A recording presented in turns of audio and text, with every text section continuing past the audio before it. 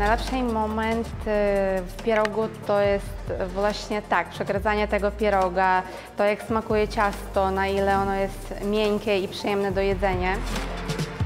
Każde pierogi są inne. Każde nowe pierogi, które kupujemy albo robimy, są pewnym rodzajem zaskoczenia dla nas. Myślę, że lubimy to zaskoczenie. It's the most popular comfort food we have in Poland. They are warm, uh, you have all the steam coming in your face. This comfort comes both from the memories, from the atmosphere, from the flavor, but also from the texture of the dish itself.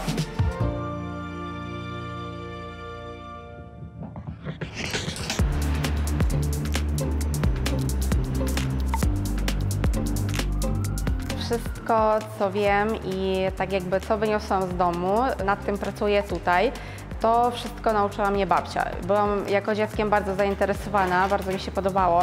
Ludzie, jak pracujemy tutaj, ludzie przychodzą i oni się zachwycają tym, że mogą zjeść domowe, prawdziwe pierogi jak u babci.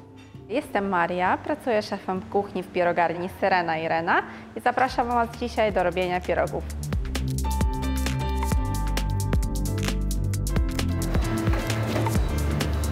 Tutaj w restauracji mamy tak naprawdę ponad pewnie z 15 różnych rodzajów pierogów.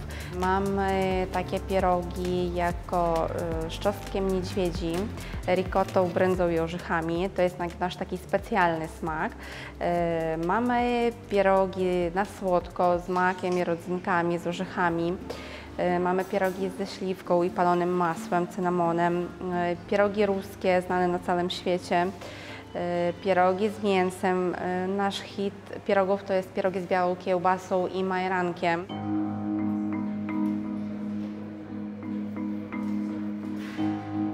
Można się pomylić z ciastem na przykład. Każda gospodyni ma swój y, idealny przepis na ciasto, ale i tak nie wszystko się zawsze udaje, na przykład z pierwszego razu.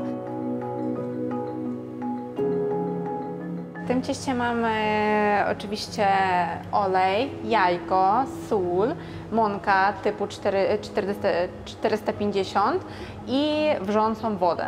Jajko to jest taki, tak jakby mój sekret y, tego ciasta. Zmienia to, że y, wszystkie składniki bardzo dobrze się mogą połączyć w tym cieście, związać, tak można powiedzieć. Przy robieniu pieroga robimy różne falbanki. Y, To ciasto można sobie jak chcesz ugniatać, układać.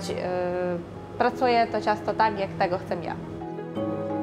Jak wrzuciliśmy wszystkie składniki, mieszamy ciasto, wyrabiamy go w okolicach 15-20 minut, dopóki nasze ciasto nie będzie miękkie i przestanie się lepić do rąk. Wtedy mamy gotowe ciasto, gotową kulę i zostawiamy na 15-20 minut, żeby ciasto odpoczęło, ponieważ w tym momencie rozkłada się gluten i nasze ciasto się robi bardzo elastyczne i dobrze się y, takie ciasto wałkuje.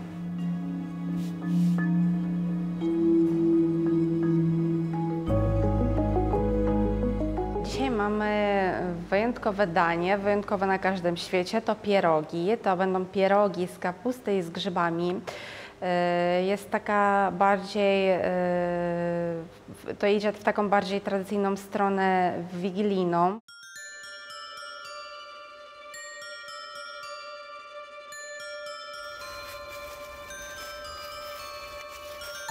Pierogi w Polsce są robione zwykle y, z użyciem y, grzybów leśnych. Jedząc pierogi z grzybami leśnymi, czujemy w jakimś sensie zapach y, lasu, który najczęściej przywodzi bardzo miłe wspomnienia.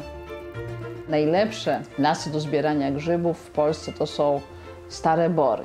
I tam możemy znaleźć zarówno borowiki, jak i kurki i podgrzybki ta niepewność, czy się znajdzie, czy się zostanie królem, polowa- e, królem grzybobrania, czy nie, to jest to, co ro- robi przyjemność. To jest ta niepewność, ale mm, z dużą nadzieją.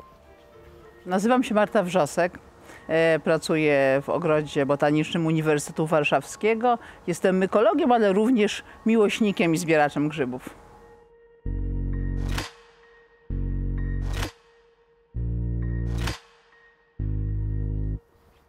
Polacy są narodem, który jest wyjątkowo zaangażowany w jesienne grzybobrania.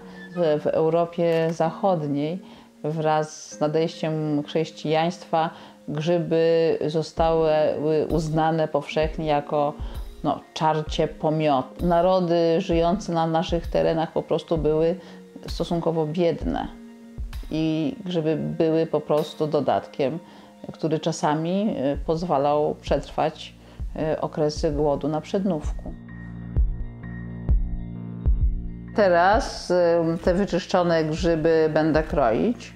Część z nich od razu uduszę, a część przygotuję do suszenia. Używamy wobec tego świeżych grzybów, właśnie innych latem, innych wczesną jesienią, innych późną jesienią. Natomiast zimą używamy wszystkich rodzajów, które zasuszyliśmy w ciągu długiego sezonu.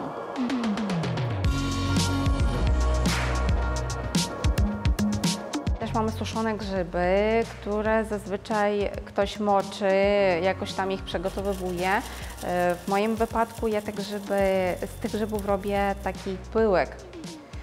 E, To dodaje e, pierogam intensywnego smaku grzybowego.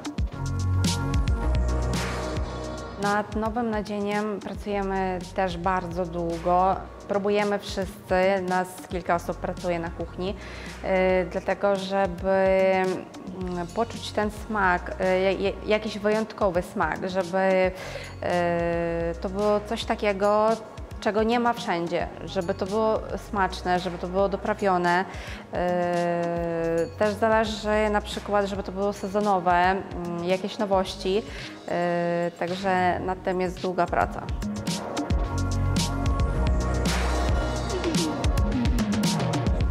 Jakie jest nadzienie w pierogu, to też jest najważniejsze, ponieważ każdy ma swój smak yy, i połączenie ciasta z nadzieniem w pierogu to jest właśnie to, co musi poczu- poczuć każda osoba, która je pierogi.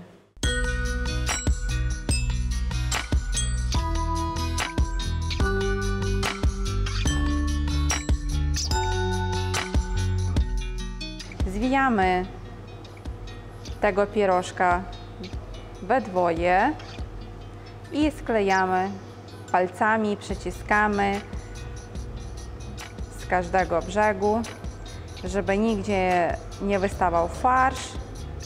I tak wygląda pieróg, który każdy standardowo sobie robi u siebie w domu. Żeby ten pieróg jeszcze ładniej wyglądał, to szczypiemy sobie za uszko, i przeciągamy tak troszeczkę palcem. I wtedy ten pieróg ma taką falbankę. Woda musi być zagotowana. Jeżeli wrzucamy pierogi do wody, y, woda traci temperaturę. Musimy poczekać, żeby woda się dobrze zagotowała y, i wtedy pierogi nie możemy gotować więcej y, aniż 2-3 minuty. Bo jak za długo będą przebywać w wodzie, to się ciasto może jednak rozgotować. The most exciting is just the part when you put them out from the boiling water on your plates. And they are like super hot, but you really want to eat them. So even you're 30, you are like emotionally five and you're super impatient and you just want to really eat them very, very quick. Pierogi are a dish that is like heavily connected with Poland. They became a bit like our food icon. Even though you can find them in different countries, mostly in Central and Eastern Europe, I think that in Poland we are just like super proud of them. One of the places now that we usually connect with pierogies are so-called milk bars. They originated in the early 20th century. So all those like flour-based dishes, for example, pierogies, became like a very popular because they're also like very economic and they're very satisfying. You can find them still in those milk bars when you can have a portion for a few euros.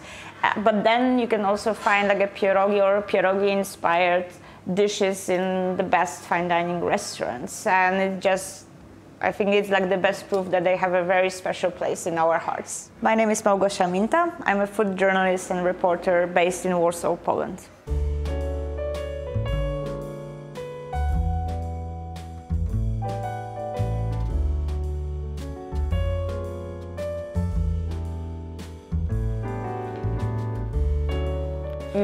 Back them to the very old cookbooks. We are now in a restaurant called Epoka, where chef Marcin Przybysz looks for inspiration for his dishes in the oldest known cookbooks that we have in Polish. It's, I guess, a great also uh, playground for the chefs that can elevate them into more refined and more signature and personal creations, but still originating from this very old traditional form.